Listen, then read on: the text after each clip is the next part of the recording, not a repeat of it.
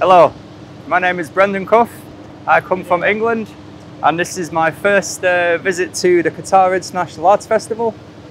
What an experience. Um, had the most wonderful time since we arrived. We've had a cultural tour of, um, of Doha, uh, seen some beautiful sights. We've been into the um, exhibition this morning, seen all these beautiful paintings from wonderful artists all over the world.